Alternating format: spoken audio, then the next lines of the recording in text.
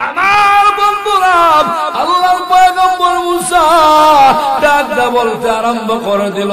ওরে আসর পাল, সংবাদটা তেমন ভালো না। এই সংবাদটা তেমন ভালো না। কি সংবাদ পয়গম্বর বলো না।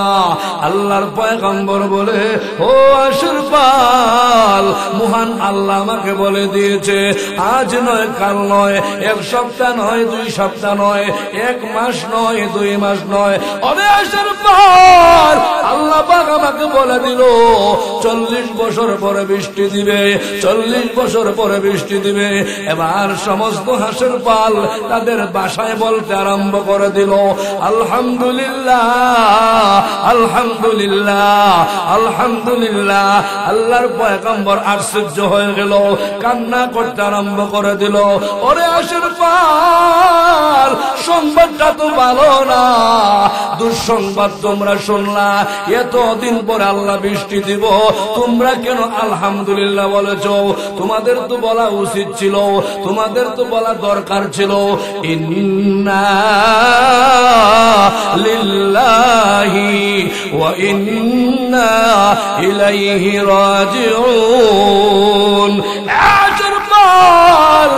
তোমরা ওই কথা না বলে আল্লাহ শুক্রিয়া আদায় করলা বুঝতে পারলাম না। আশার পাল বলে, পয়গম্বর মুসা, ও মুসা, ভালো করে বোঝো। আল্লাহ যে বলতে বৃষ্টি দিব, এই জন্য আল্লাহ আমরা শুক্রিয়া আদায় করেছি। কারণ হলো, আল্লাহ যদি দেয় না কেমত পর্যন্ত আমরা হাঁসের পাল কেন, মানব দানব কেন, জিন জাতি কেন, সমস্ত পৃথিবীর মখলুকাত আল্লাহর সাথে যুদ্ধ করে হরতাল দিয়া, মিছিল দিয়া অবরোধ দিয়া বৃষ্টি আনতে পারবে না। আল্লাহ না দিলে জমিনের মখলুকাত আনা সম্ভব হবে না। যদি একবার বলেন না, ঠিক কিনা? আমার মুসলমান ভাইয়েরা, এই জন্য আপনি আমাদের জবানের মালিক। তাসবি চলবে কার? জবানে তাসবি চলবে কার?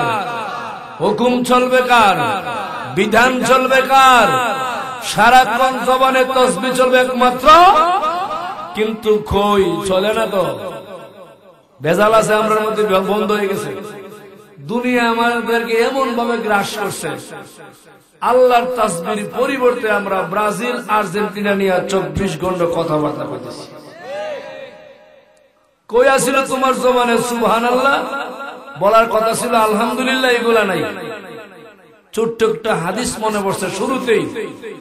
মুসা আলাই উনি তুর পাহাড়ে যাইতেন আল্লাহর সাথে কথা বলার জন্য। কার সাথে? জোরে কন। হঠাৎ করে একদিন হাঁসের পাল। হাঁস চিনেন আপনারা? বড় হাঁস, যারা আমরা রাজা হাঁস। এরকম একদল হাঁসের পাল আল্লাহর পয়াগম্বর মুসা আলাই সালামের সামনে চলে গেল।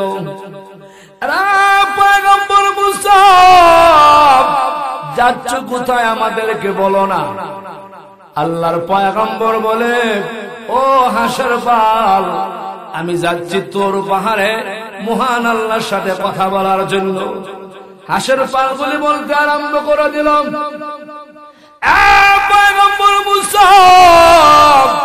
আমাদের পক্ষ থেকে একটা কথা নিয়ে যাও। কে কথা তোমরা বলবা বলো না? আল্লাহকে বলে জিজ্ঞাস করবা, জমিনে বৃষ্টি হচ্ছে না? বৃষ্টির বড় অভাব, আমাদের বড় কষ্ট হচ্ছে। পরে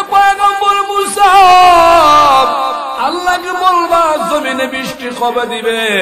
আল্লাহ কবে বৃষ্টি দিবে? আল্লাহর পয়গম্বর মুসা আলাই সালাম চলে গেল। আল্লাহর সাথে তোর পাহাড়ে কথা বলা শেষ। পয়গম্বর চলে আসবে। এবার ডাক দা বলতে আরম্ভ করে দিল।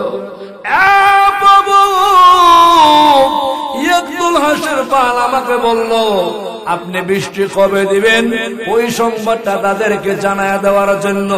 আল্লাহ ডাক দা বলে মুসারে যাও, তুমি চলে যাও। হাঁসের পালগুলিকে জানাই দিও। আজ নয় কাল নয় এক সপ্তাহ নয় দুই সপ্তাহ নয়। আমি আল্লাহ চল্লিশ বছর পরে বৃষ্টি দিব। এই সংবাদটা শুনিয়া মুসা পয়গম্বর কান্না আরম্ভ করে দিল। কেন কান্না করে? বৃষ্টি তো আমার দরকার, উম্মতের দরকার, দেশবাসীর দরকার, গ্রামবাসীর দরকার, এলাকাবাসীর দরকার। আল্লাহ যে চল্লিশ বছর পরে বৃষ্টি দিব, আমার উম্মতের কি হবে? এলাকার মানুষের কি হবে? আমার মুসলমান ভাইরা প্রাণের যুবক বন্ধুরা, খেয়াল করে শোনো, পয়গম্বর চলে যায়, হাঁসের পালগুলা আল্লাহর পয়গম্বরের সামনে দাঁড়ায় গেল, এবার ডাকটা বলতে আরম্ভ করে দিল, ও পয়গম্বর, বলো না আল্লাহ পাক বলে দিল? আল্লাহ পাক সংবাদটা দিল আমাদের বলে যাও। আমার বন্ধুরা, আল্লাহর পয়গম্বর মুসা ডাকটা বলতে আরম্ভ করে দিল, ওরে আসর পাল। সংবাদটা তেমন ভালো না, এই সংবাদটা তেমন ভালো না, কি সংবাদ পয়গম্বর বলো না? আল্লাহর পয়গম্বর বলে, ও আসর পাল, মহান আল্লাহ আমাকে বলে দিয়েছে, আজ নয়, কাল নয়, এক সপ্তাহ নয়, দুই সপ্তাহ নয়, এক মাস নয়, দুই মাস নয়। অবে আসর পাল, আল্লাহ আমাকে বলে দিল, চল্লিশ বছর পরে বৃষ্টি দিবে, চল্লিশ বছর পরে বৃষ্টি দিবে, এবার সমস্ত হাঁসের পাল তাদের বাসায় বলতে আরম্ভ করে দিল। আলহামদুলিল্লাহ আলহামদুলিল্লাহ আলহামদুলিল্লাহ। আল্লাহর পয়গম্বর আশ্চর্য হয়ে গেল, কান্না করতে আরম্ভ করে দিল। ওরে হাঁসের পাল, সংবাদটা তো ভালো না, দুঃসংবাদ তোমরা শুনলা, এতদিন পরে আল্লাহ বৃষ্টি দিব, তোমরা কেন আলহামদুলিল্লাহ বলেছ? তোমাদের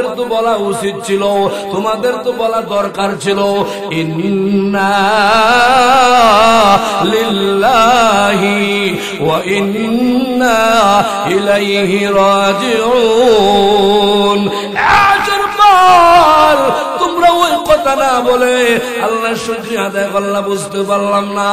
আশার পাল বলে, পয়গম্বর মুসা, ও মুসা, ভালো করে বোঝো, আল্লাহ যে বলতে বৃষ্টি দিব এই জন্য আল্লাহ আমরা শুক্রিয়া আদায় করেছি। কারণ হলো, আল্লাহ যদি দেয় না কেমন পর্যন্ত আমরা হাঁসের পাল কেন, মানব দানব কেন, জিন জাতি কেন, সমস্ত পৃথিবীর মখলুকাত আল্লাহর সাথে যুদ্ধ করে হরতাল দিয়া, মিছিল দিয়া, অবরোধ দিয়া বৃষ্টি আনতে পারবে না।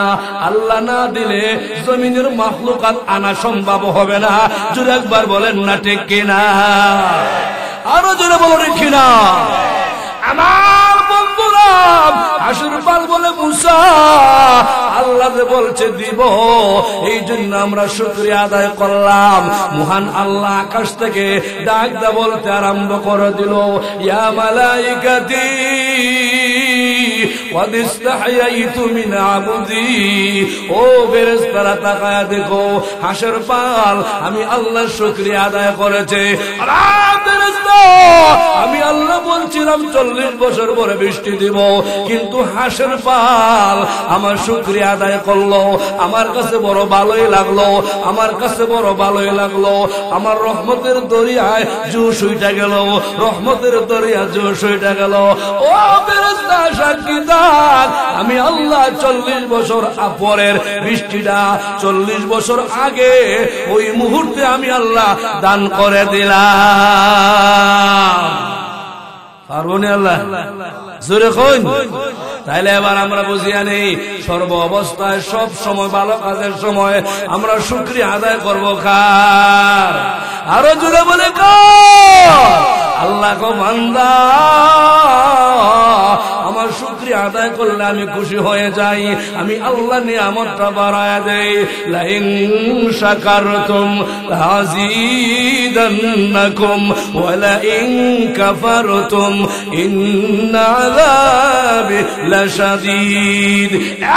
বন্ধুরা, ও আমার ব্রাহ্মণ বাড়িয়া সরাইলের বন্ধুরা, মন এলাকার বন্ধুরা, পরিষ্কার করে বুঝে নাও, আপনি যে অবস্থায় যে হালতে আছেন, আল্লাহ শুক্রিয়া আদায় করুন, আল্লাহ আপনাকে আরও নিয়ামত বাড়ায় দিবে, আরও নিয়ামত আল্লাহ বাড়ায় দিবে। চিল্লে বলেন না ঠিক কিনা? এই যে মাদ্রাসা, এই মসজিদ, আপনাদের মহল্লার জন্য অতি নিয়ামত, ঠিক কিনা? এটা নিয়ামত না। কিন্তু কিছু কিছু মানুষ আছে আইরে, কেন লাগে মাদ্রাসা, মসজিদ? হইল, সান্দা কালেকশন দেওয়া লাগে, বড় জ্বালায় বড় জ্বালায় বড় জ্বালায়। আল্লাহ তোর মতন না খান্দা কম্বক দুনিয়াতে নাই, তোর মতন না খান্দা কম্বক দুনিয়াতে নাই। আমার মুসলমান ভাইরা যে লোকগুলা মাদ্রাসাকে ভালোবাসে না, মসজিদকে ভালোবাসে না, গান বাজনারে ভালো লাগে, কিরণমালা বাদাম না ভালো লাগে, কৌতুক নাটক ভালো লাগে, এমনকি আর্জেন্টিনা, ব্রাজিল বালা লাগে। আপনারা বুঝিয়া নাও, আমি শহীদুল্লাহ বলিয়া যাই, ওই লোকটার কলিজার ভিতরে আল্লাহর ভালোবাসা নাই, নবীর প্রেম নাই। ওই লোকটা হইল আল্লাহর নাফরমান বান্দা জুড়ে কন্যা ঠিক কিনা? এমন লোক এলাকাতে আছে না?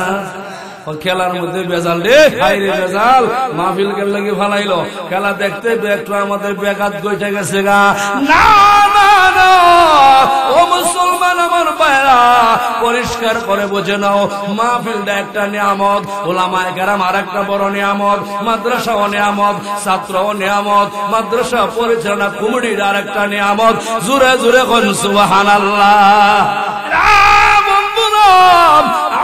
মুসলমান ভাইরা পরিষ্কার করে বুঝে নাও।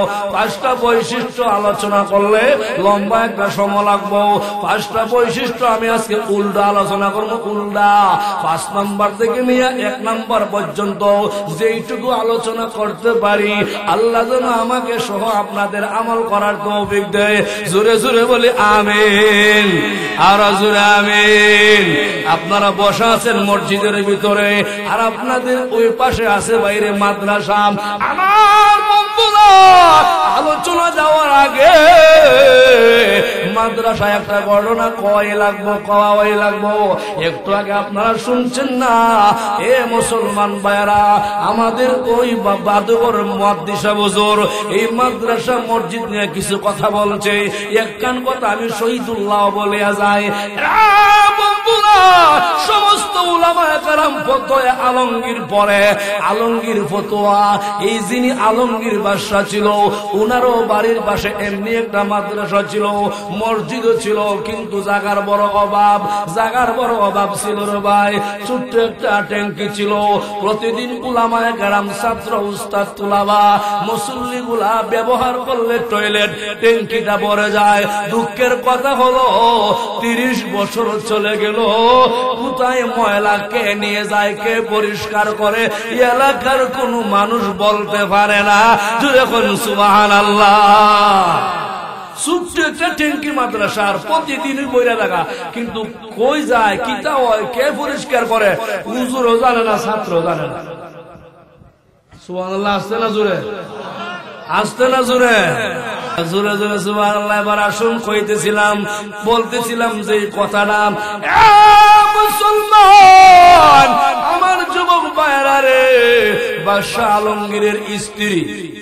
ওনার শাশুড়ি আম্মার কাছে একদিন একটা নালিশ করল। নালিশ মানে বিচার দিল, বিচার। কি বলছে? ইয়া বলে, আম্মা, ও আমার শাশুড়ি আম্মা, আপনার ছেলে তো বাদশাহ বলে, হ, প্রেসিডেন্ট বলে, হ, আপনার ছেলের বিরুদ্ধে আমার ছোট্ট একটা নালিশ একটা বিশ্বাস ও কিতা? ও প্রতিদিন রাত্রে বাজে যখন একটা, ছেলে আপনার ঘর থেকে বের হয়ে যায়, ফজরের নামাজের পরে এরশাকের নামাজ পয়রাতে আমার বাসায় ঢুকে? আর আমরা কেমন মুসলমান? একটার সময় ঘুমাই, দশটার সময় উঠি। হাই রে মুসলমান। হজুর বেজাল। কইলাম শহীদুল্লাহ, কি বেজাল? হজুর ব্যবসার বেজাল, বাণিজ্য নিয়ে বেজাল জমি জমা বেজাল, বিচার আসার সালিশ বিচার বৈঠক বেজাল। একটার আগে ঘুমাইতে পারে না, ফজরের নামাজটা পড়তারি না। আমি কই, যেই লোকটা ফজরের নামাজ বাদ দিয়া ব্যবসা, বাণিজ্য, সালিশ, তোমার লাগি এগুলা করা হারাম হারাম হারাম। ফতোয় শহীদুল্লাহ, কন্টি কিনা? কিসের তোমার বাণিজ্য ব্যবসা? কিসের তোমার এই সমস্ত কাজ কাম জামালা পাও? নামাজ বাদ দিয়ে সব কিছু হারাম। ঠিক দিয়ে আপনারা আসতে কই? কেউ যদি আপনারা ধরে বলে শহীদ শহীদুল্লাহ কইছে। ফতোয়া দিবেন, শহীদুল্লাহ নামে ছেড়ে দিবেন। যা জব দেওয়া লাগে, আমি দিব। আপনারা সমস্যা হইব? কি সমস্যা? নামাজ বাদ আবার কিসের কাজ? কিসের মাতবুরিয়া সরকারি? বন্ডামি? বাদশাহ স্ত্রী বলছে, আপনার ছেলে রাত্রে একটা বাজে নামাজ বাসায় আসে, তারে আমি আর পাই না। মা ছেলে, আপনি ওই দেন। আমি জিগাবো না গো মা, আমি আজকে রাত্রে একটা সময় হের পাছনে পাছনে যামু, দেখব আমার ছেলে কই যায়। লাগছে। আমার মুসলমান এরা যুবক বন্ধুরা, রাত্র হয়ে গেল একটা, বারোটার পরে একটা। ওই যে আমার কথা লম্বা হয়। বারোটা কইছি না, একটা গিচ্ছা হইয়া দিছে। কই মিনিট শর্টকাট, দুই মিনিট, কইতাম নি? আমি হাসাই না কিন্তু হায়া পড়ছে, কইলে কেমনি ভাই? সবাই যে কইতেছেন না আপনারা? কইতাম নি? গ্রামগঞ্জ দেখবে এটা তো গ্রাম না, শহর শহর, বাপ কি দেয়া? দেখছি আজকে। ঢুকছি দে। অনেক আগে, দেখছিলাম গ্রাম হয়েছে শহর। আলহামদুলিল্লাহ শহর যদি না বাপ শহরে, রাস্তাঘাটে বিল্ডিং এ, এবারে গুচ্ছ গ্রামে, গুরামে, একবারে সুরা, তাহলে আমরা ওই আলহামদুলিল্লাহ।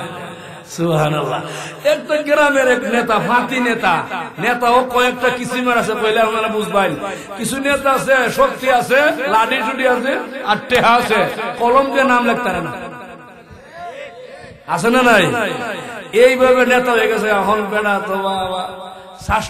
গল্প করে গল্প করে। না আমার চিনে না। আগামী সোমবারে সে হাসিনাই বাউন্ডারে স্টেডিয়াম মাঠে আমার দাওয়াত করছে। বুঝছেন না? অথচ সে হাসিনা এর চোদ্দ গোষ্ঠীর ছিল না।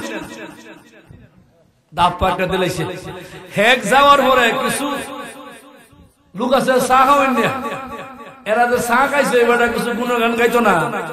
ও, কি দেখো, নেতারা চিনছো না আমরা নেতারা? দেখছ আমরা না চিনছি না। সে হাসিনা চিনছি। এগুলো তো আমরা গ্রাম প্রত্যেকটা ভবন। দেখবেন আপনারা বইয়ে দেখবেন শহীদুল্লাহ ভাই কইছে, একটু টেস্ট করি। এখন সোমবারে যে মিটিং হইব উনি আইব টিভি আছে। কিন্তু হেরা কইছে না, হে করতে নিজে নিজে শুট করে কুটকাট লাগাইয়া, সুবহানাল্লাহ, একটা ভাব ধরছে কিন্তু সসমা উসমা গড়ি নাই। সারা ঘর বিচারছে না। আটকা দেহে, বড় ভাই টেবিলের নিচে একটা গড়ি আছে দেহে। গড়ির ভিতর খাড়া মোটা সব ভাঙ্গা। হে কো বাঙ্গলে আমার কি দিছে আমি তো টাইম হয়েছি না। চিন্তা করেন কেমন নেতা।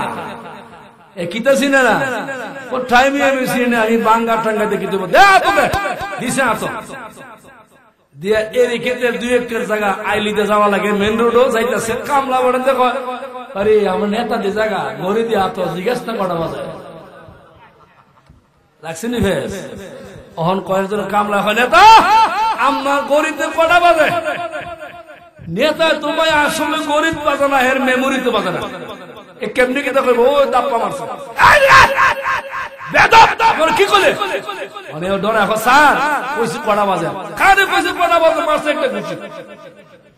ক, আমি কইলাম কটা বাজে, দিলেন গুছি উত্তরটা কই? ক, তাহলে গুছি দিছি কটা ভাই, একটা। ক বুঝছা নেই বাজে যারা কামলা চুরিয়া রাখো, আল্লাহ, তুমি যে হেরে বাঁচাইছো যদি এখন বাঁচতো বারোটা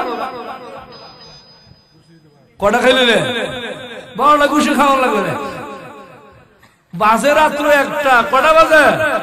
মূল কথা মনে রাখবেন। বাজে রাত্র? বা আলঙ্গীর ঘর থেকে বের হয়ে গেল। আলমগীরের মা চুপে চুপে পাচনে পাচনে সন্তানের পাচনে বের হয়ে গেল। আলমগীরের মা পাচন দিকে এক কদম, দুই কদম করে সামনে আগায়। বাদশাহ আলমগীর, আপনাদের এই মাদ্রাসার মতন তার একটা মাদ্রাসা ছিল। আগে তো বলছি, লেট্রিন টয়লেট বাথরুমের কাছে গিয়া কমেটটা উল্টাইয়া, বালতি ময়লার ভিতরে নিয়া বালতি পূজা করে অনেক দূরে নদীর মধ্যে ফেলে আসে। বাদশাহ। আর আমরা ওয়ার্ড মেম্বার হইল মুরব্বীরা তো ব্যাগ আমি দেখে কইতেছি, ওয়ার্ড মেম্বার, বেটা ভূতের সমান মেম্বার হইছে কটা ভূত পাইছে মানে মুরব্বীরে অর্ডার দেয়। না হুজমিল্লা বুঝলেন না? আর বাদশাহ কি কোরআনের শিক্ষা কতটুকু পার্থক্য? বাদশাহ আলমগীর ওই কমেটটা উল্টায়া ময়লা বুঝা নিয়া নদীর মধ্যে পেলে দিল পাঁচটা বালতি ময়লা ফালাইছে। রাত্র হয়ে গেল প্রায় আড়াই থেকে তিনটা। আলঙ্গীর গুসল করে, উজু করে নামাজের মধ্যে দাঁড়ায় গেল তাহাজ্জত তাহাজ্জতের নামাজ পড়তে পড়তে আজান হয়ে গেল।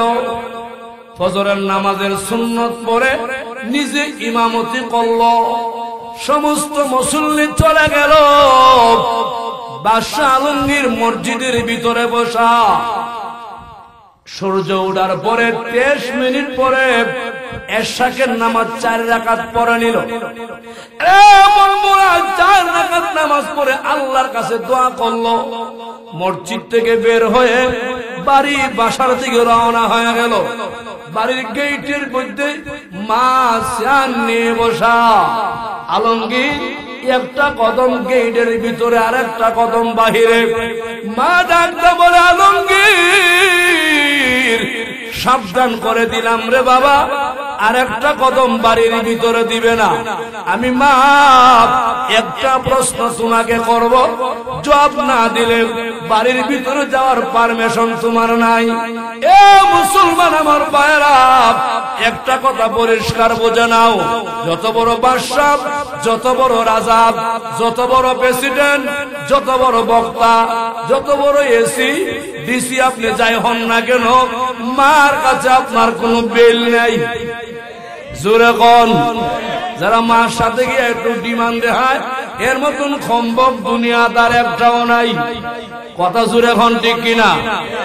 ফাহিদ, একটা কথা কয়ে ভাই? তিন জায়গায় আমার তোমার সম্মান নাই, এক নাম্বার মার কাছে ছেলের সম্মান নাই, দুই নাম্বার বউর কাছে জামার সম্মান নাই, তা আছে। কিন্তু মাঠে যেটা ভাই, এটা হইতে পারে। বুঝছেন না? এক নম্বর মা, দুই নম্বর বউ, তিন নম্বর গ্রাম ই গ্রামে যদি মহাদিস হয়ে একবারে সারা বিশ্ব জয় করে আইলে সমান নাম ধরে ঠিক না আর মার কাছে যত বড় বাসায় মা কানা ধরবো। ঠিক না বোর কাছে তুমি যত বড় অলিও, বেশি অলিগিরি আমার দ্বারা করে না তুমি কোন কিতাব পড়ো আমি জানি। শেষ কিনা কটা কথা বেশি বুঝছে, মনে রাখবেন। মা বলে, বাবা, দাঁড়াও, একটা প্রশ্নের জবাব দেওয়া লাগবো। কি প্রশ্ন? মাগো আপনি বলেন না। এরা লঙ্গির এই দেশের রাজত্ব তোর হাতে, বাদশা তুই। ওরে বাবা, তোমার হাতে সুইবার মেতর চলে। তুমি কেন মেতর দিয়া লেট্রিন পরিষ্কার না করে, নিজ হাতে কেন করলে আমার জবাব দাও? মা, আপনি কেমনে জানেন? মা বলে, আলমগীর, রাত্রে কবির তোমার পাচনে পাচনে গিয়েছিলাম। আমি দেখলাম তুমি বরাবর লেট্রিনে গেছো, বাথরুম পরিষ্কার করছ, জবাব দেও। আলমগীর কান্দে আর বলে, বাগো, এই মুহূর্তে আমি বলব না বেলা দশ বটিকায়। আপনাকে সঙ্গে নিয়ে ওই মাঠে ময়দানে সফর করতে যাব মা। সফরে হালতে আপনাকে জবাব দিয়া দিব। বন্ধুরা বেলা দশটা হয়ে গেল, আলমগীরের মা এবং সন্তান মাঠে গেল। মাঠে বিরাজমান, সফর করতে করতে হঠাৎ করে সামনে পড়ে গেল। একটা ছাগল আর ছাগলের সানা বাচ্চা আর মা। বাচ্চাটা অনেক দূরে লাফায়া লাফায়া যায়, আবার মায়ের উপরে লাভ দিয়া উঠে।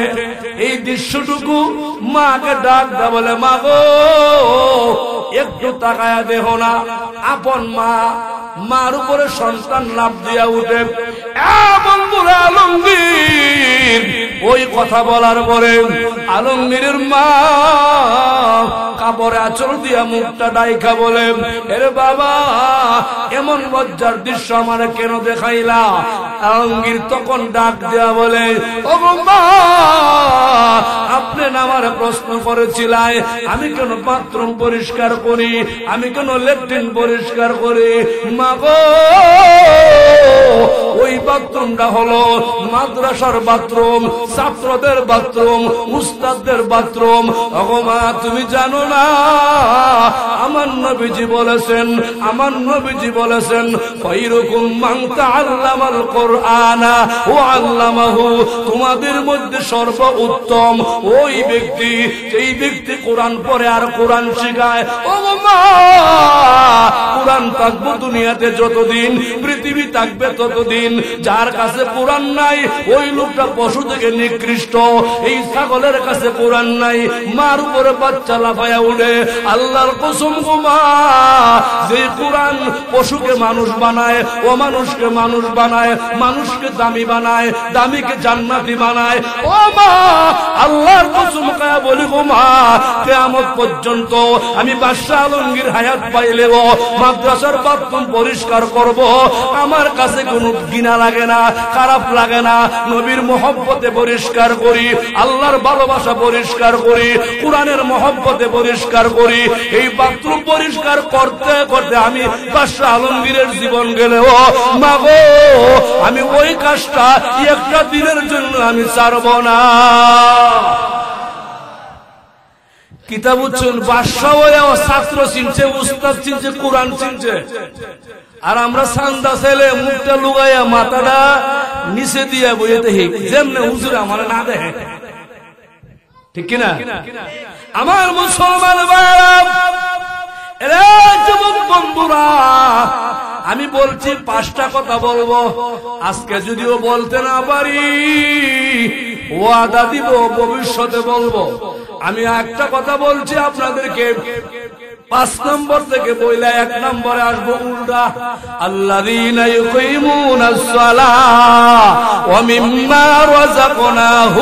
ইউনফিকুন। আল্লাহ বলে মুমিন মুসলমানের পাঁচ নম্বর কোয়ালিটি হলো আল্লাহর দেওয়া রিজিক থেকে, আল্লাহর দেওয়া সম্পদ থেকে মুমিনরা আল্লাহর রাস্তা দান করে। জোরে জোরে কোন, সুবহানাল্লাহ। হবিগঞ্জের মধ্যে সবুজুর একটা কথা কইছে, কইতাম নি? আপনারা আওয়াজ দিনে কইতাম নি ভাই? জোরে কোন কইতাম নি ইনশাল্লাহ আল্লাহ আকবার গ্রামের নাম মইন। নাকি? পাশে আছে আর একটা গ্রামের নাম আইরন। এখানে আইসি বাজার লাগি মগস্ত আইরলার মন আপনাদের মন গ্রামের একটা ছেলে। আগামী সোমবার আইরল গ্রামে বিয়া করব, দিন তারিখ দাঁড় হয়েছে মনে করেন হয়ে গেছে দাঁড় হয়েছে আর কি, বিয়ে হয়েছে কিবারে হইব সোমবারে সোমবারে সকালে। বরযাত্রী আপনাদের ওয়ার্ড মেম্বার, মাদ্রাসার বড় হুজুর, এলাকার মসজিদের বড় কতিব ইমাম সাহেব। চেয়ারম্যান সাহেব, বাহির থেকে আরও বড় বন্ধু বান্ধব নিয়ে আসছে। আমার বন্ধুরা পরিষ্কার করে বুঝো। বিয়ার দিন জামাই বেড়ায় কয় বরজাতি আমার বন্ধুরা, আমার শরীরটা বাড়ানা তুন্ডা আইরল গিয়া খায়াও। আমার শ্বশুর বাড়ি দিয়ে খায় আয়া করো। বিয়ে আসতে হইতো না। আপনারা কোন আপনাদের দেশের বাসায় জামাই সারা বরযাত্রী আইরন গেল। খাওয়ান দিবনি। আসতে যে দিবনি। বরযাত্রী যত সম্মানী হোক, দামি হোক, আর বর মানে জামাই বেড়া, যতই অসম্মানী হোক, রিস্কাওয়ালা টেলাওয়ালা বেনওয়ালা, তাঁতিওয়ালা যে লোকটা ওই জামাই হোক না কেন বিয়ার দিন জামাই বেড়ার সম্মান বেশি না কম। জোরে বলো না। আরও জোরে। এবার জামাইও গেছে, বরযাত্রীও গেছে। খাবারের টেবিলও খাবারও দিয়া দিছে। আইটেম বড় ভালো করছে। আইরলের মানুষ থাকলে আপনি খুশি হইবেন। আইরল গ্রামের মানুষ খুব বালা। খাওয়ানোর আইটেম করছে অনেক সুস্বাদু আইটেম। গরু গুস্ত, দেশি মুরগি। এরপরে আবার সাদা হাঁসের ডিম। লাল ডানা হাঁসের ডিম সাদাটা এবারে গাজর শশা কিরা ইত্যাদি দিয়া খাবার টেবিলে সাজাইছে। বরযাত্রী খাওয়ান স্টার্ট জামাই বেড়ার সামনে একটা বড় খঞ্চা খঞ্চা একটা বুঝলি তো বুঝছেন আলহামদুলিল্লাহ। এটা আমার গ্রামের অযথা কথা না বুঝলে বুঝে নেবেন, আলহামদুলিল্লাহ। সামনে কাবার দিছে জামাই, একটু কাবার এরকম। মোহ দিয়া ওই রুমাল দিয়া মুখটা কিরে খাসতে গেলে জামাই মনে মনে